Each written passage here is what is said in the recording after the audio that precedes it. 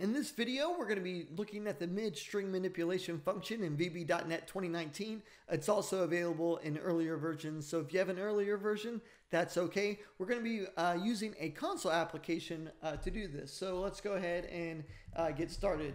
We're going to do word as a string because we're going to have the user input a word, and then what we're going to do is we're going to isolate each letter of that word, rebuild the string, but build it backwards so it actually reverses uh, the word. So we're going to do letter as a character. Now you might be saying, well, do I need it, you know, do I need an array here with a certain index slot so I can hold each letter?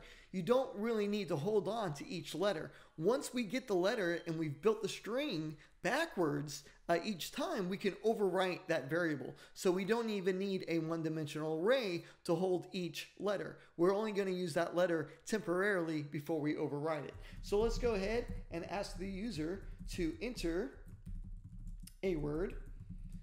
And the theme of me not being able to spell uh, correctly continues. And what we're going to do is we're going to store that as a word. All right, now once we have the word, we can start isolating each letter. Now in the previous video, uh, we just went into uh, mid. Uh, this video, we have to use a for loop because we need to start at the uh, last letter and go to the first letter. So for i equals. Now you may be saying, well, in for loops, we always start with a smaller number going to a larger number. And generally that is true. But what you can also do is work backwards. I can actually go down. So I'm going to do word.length to 1. And then I'm going to put next, and I can actually step down. Now, what you, you there's one extra thing you're going to have to type in because when you're using a for loop, it increments automatically. So i is going to step by one automatically. Well, we need it to step down by one automatically. And how do we step down? Step negative one. That's it. The step is a keyword and it says, okay, we're going to change how many steps we're taking. We're changing it from positive one to negative one. Now I can start at the end of the word and work backwards. And then what we're going to do is I'm going to go ahead and put console.writeLine and then what we're going to do is we're going to output the new word. So I'm going to go back up here. Actually, let's call it uh, backwards word. And we need to make that a variable. So let's go ahead and do that uh, now.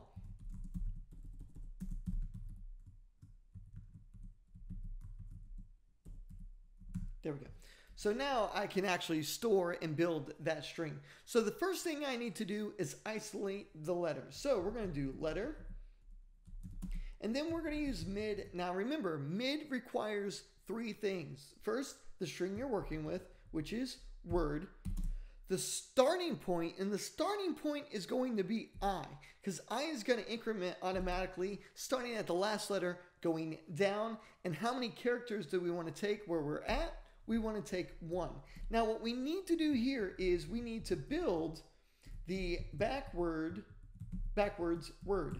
And that is going to be like this. We're going to take the backwards word and then we're going to tack on the letter. And when we tack on the letter, what this will do is concatenate the strings together. I'm taking whatever I have and then I'm adding letter onto it. So let's go ahead, very, very short program here. Uh, this will actually take a word and uh, output it backwards, and we forgot to do this as a string. Uh, the data type is pretty important. So let's go ahead, let's save our program, let's run it, and let's see how this works. So let's enter words such as uh, curtains. So if I enter curtains, it comes out backwards. C-U-R-T-A-I-N-S,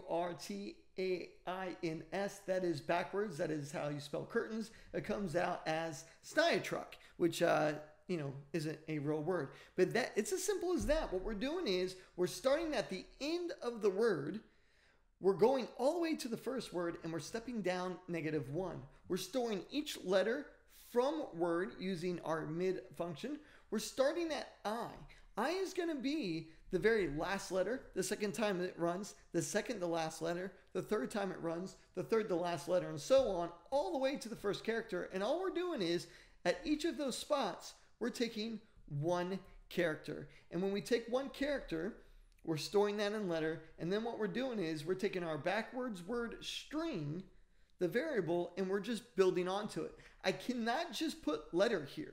If I put letter here without this backwards word, what's going to happen is it's only going to output that very last letter. What this does is it takes the string, which the first time it runs, there's nothing there. So there's nothing there. And we're adding on the S in curtains. The second time it runs, we have an S, but we're adding on the in. The third time it runs, we're at we have we already have the S in the in, so now we need to put the I. So that's what line 12 is doing. It's as simple as that. If you have any questions, please post a comment below. We'll see you guys in the next video.